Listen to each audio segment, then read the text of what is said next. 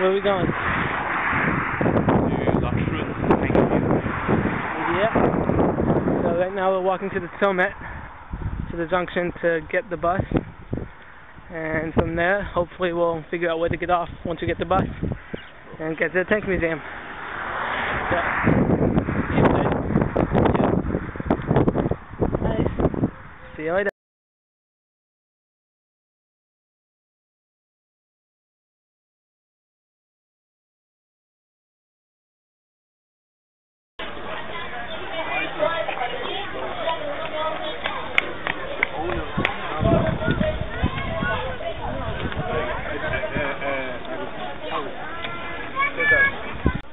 This is the American-made M10 tank destroyer. Said here.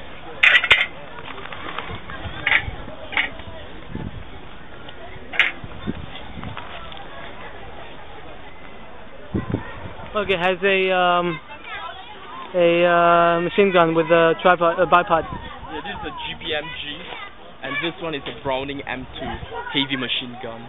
Yeah, but that one's mounted on. This one's not. This one is powerful. This is scary. Hey, the shovel.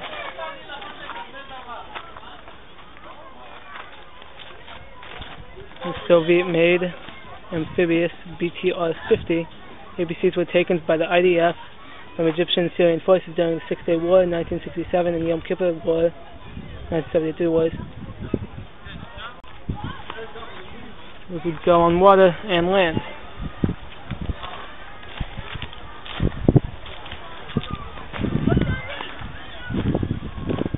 At all these tanks. I want to park some of these in my driveway.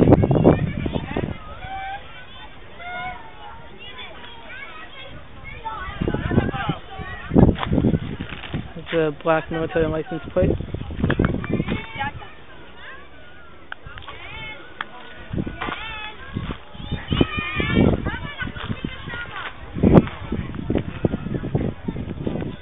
It looks like some people are climbing up on the tanks and you can take a picture.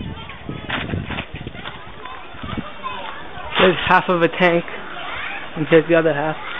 You can see the inside.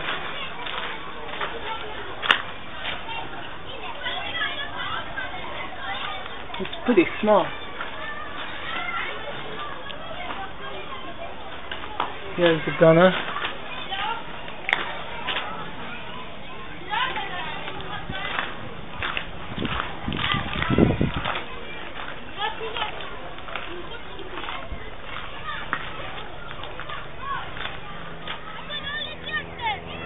There's a half-track armored personnel carrier. M2 half-track APC used by the U.S. Army during World War II during the Israeli War Independence. So there's a helicopter. War of Independence 1948.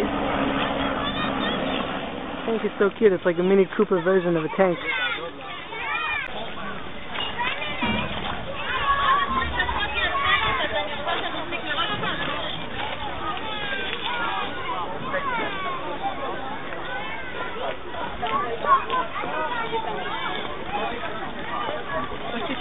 Is the Armored Corps then and now from 1948 is what they used.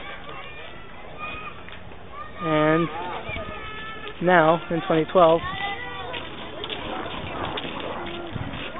look how different things look. How much bigger they got.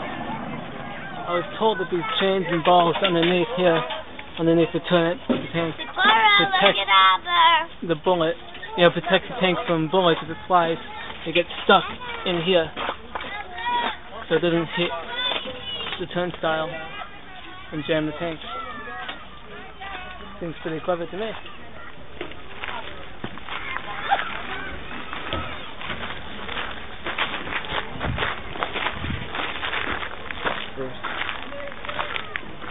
Main battle tank Merkava MK2. Here's a wall of names, long wall, filled with names of people who were killed during the wars.